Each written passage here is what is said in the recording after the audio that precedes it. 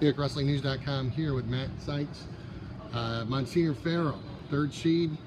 You know, great job. Wrestle all the way back to third this year.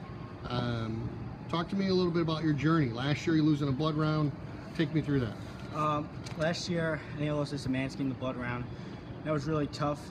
Um, you was thinking about a lot of tournaments. Two years in a row, I took seventh at Eastern States Finally, I took, I placed higher this year, third. Uh, I hated being on the bottom of the podium, you know, I want to get higher up there. I achieved my goal this weekend. I was in a tough match in the semis. You know, I found the next best thing. It's my coaches wanted me to do. That's what I wanted to do, and I did the best I can do, and I'm happy about it.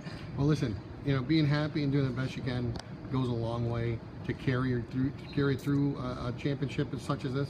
You know, it's not easy. They don't hand you know championships away. You know, t- finishing your season with a win as a senior. You know, talk to me about those feelings. Um, I knew like when I this is my last year wrestling as a high school wrestler, I wanted to go out a winner. You know, it was a really tough, crazy match, and I'm happy I can go. Years from now, I can say I won my last high school match and I placed in the state tournament. Well, listen, You know, placing in the state tournament wasn't easy.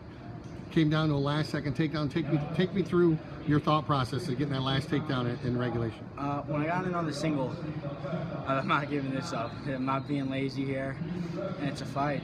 You know, the match I was gonna throw up. I didn't feel good, but it was my last match at the high school wrestling. I wanted, I had to do everything I could to win. And it was all worth it. Listen, you let it all hang out.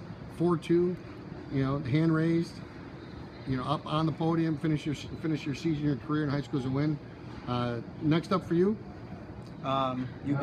UB, Coach Stuntman. Coach All right, he's getting a, he's getting a valuable asset there. Congratulations, nice work. Um, you know, great career. All right, NewYorkWrestlingNews.com. Congratulations. Thank you. We'll see you, brother.